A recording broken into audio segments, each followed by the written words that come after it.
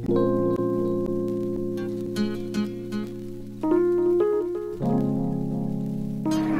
test. Mic test, mic test. Good morning. I can't hear you. Good morning. Good morning. All right, my name is Professor Raphael Gentry. I am your SYE teacher. I teach public speaking, and I look forward to another awesome quarter. I have been here since 2010.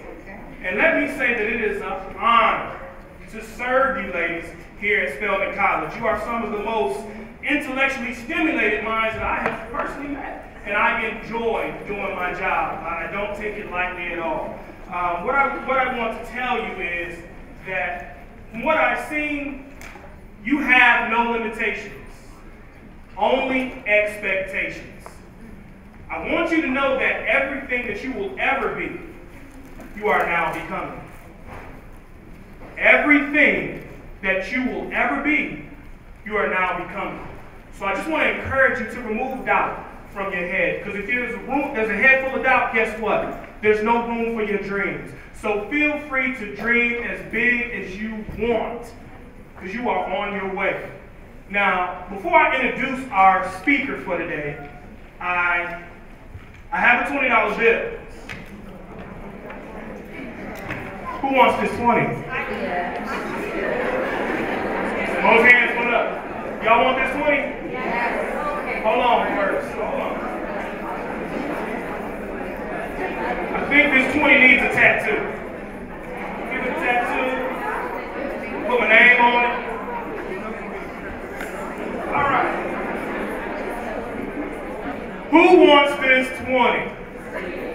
Y'all still want it? You sure? You got the tattoo on it. Hold I got people running to the stage.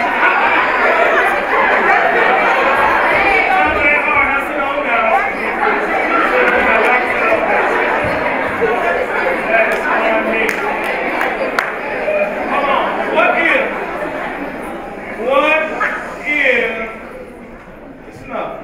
What if I tore this 20? You still, want this 20? Hold up, hold up. Let me crumble it up. You still want this 20? Hold on, I'm gonna drop it to the ground. It. It's dirty. It's crumbled. Who this nasty, tattoo, dirty, $20 bill? Why? It still has value? That is my point. Many of us are like this $20 bill. Many of us are like this. Some of us may have tattoos. Some of us may have been torn all the way down to the soul. Some of us have been used and abused. Some of us have been crumbled up in life. Some of us have been dropped. Some of us have been stepped on. But guess what?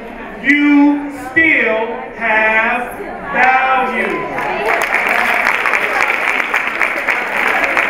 Any one of you can still go to the store and spend this $20 bill.